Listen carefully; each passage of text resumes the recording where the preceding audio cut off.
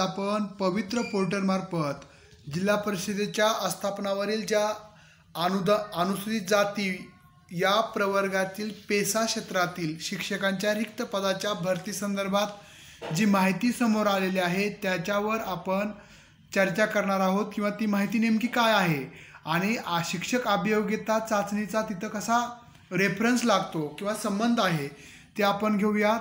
या परिपत्रकानुसार आपल्याला समजून येईल की टेट परीक्षा शिक्षक अभियोग्यता चाचणी ही फेब्रुवारीमध्ये होणारच आहे.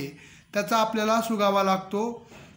बघा पेसा क्षेत्रामध्ये आपल्या सर्वांना माहीत असेल अनुसूचित जाती जमाती जसं जाती आणि जमाती ज्या असतात ज्या ज्याला आपण बॅकवर्ड एरिया म्हणतो त्या क्षेत्रासाठी विशेष तरतूद भारतीय राज्यघटनेच्या अनुसूची नऊमध्ये केलेले आहेत. त्यानुसार हे क्षेत्र आहे.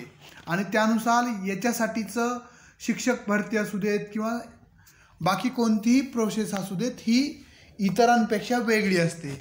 आता त्या अंतर्गत ही माहिती प्रसिद्ध केलेली आहे बघा. तर अनुसूचित जमाती या प्रवर्गाच्या पेशा क्षेत्रातील शिक्षकांच्या रिक्त पदांच्या भरतीसाठी शैक्षणिक वर्ष दोन हजार बावीस तेवीस पासून सुरू होण्यापूर्वी करावयाच्या कारवाईची संभाव्य वेळापत्रक या परिपत्रकांतर्गत निश्चित केलं आहे.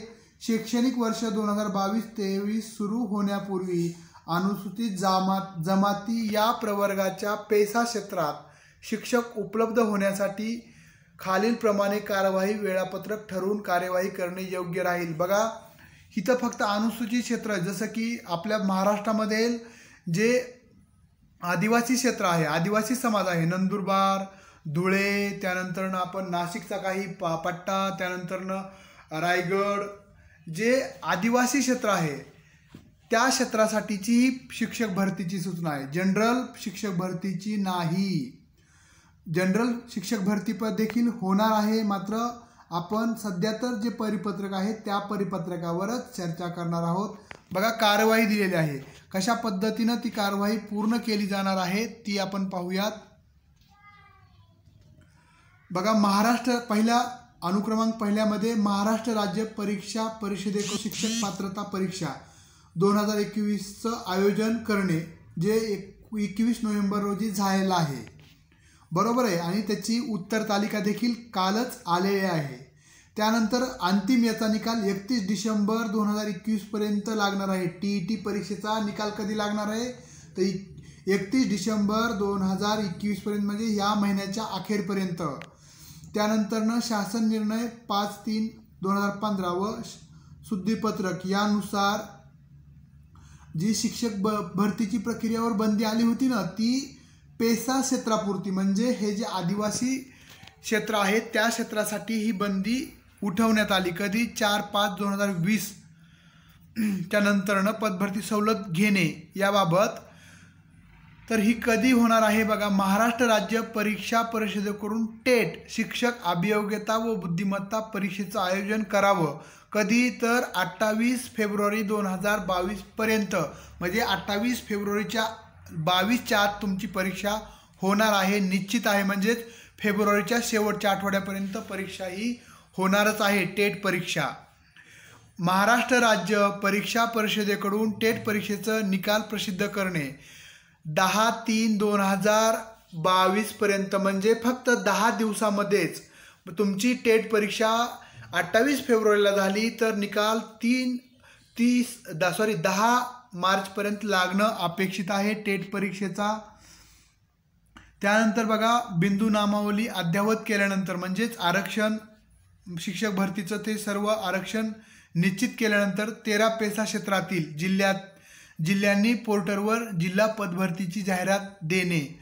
बघा तेरा जिल्हे आहेत फक्त महारा एकूण चौदा आहेत. त्यातील तेरा जिल्ह्यांचे जे आहेत त्या जिल्ह्यांमध्ये आदिवासी क्षेत्र जे पेसा क्षेत्र आहे त्याच्याच शाळाचं फक्त बिंदू नामावली म्हणजे जातीनुसार आरक्षण जाहीर करायचं आहे त्याचा कालावधी दिला आहे एक तीन दोन हजार बावीस ते पंधरा तीन दोन हजार बावीसपर्यंत म्हणजे मार्चमध्ये ही प्रोसेस दुसऱ्या आठवड्यापर्यंत पूर्ण होणार आहे. जाहिरातीस अनुसरून उमेदवारांनी प्राधान्यक्रम पवित्र पोर्टलमार्फत नोंदवायचे सोळा तीन दोन हजार बावीस ते एकतीस तीन दोन हजार बावीस. म्हणजे मार्चमध्येच.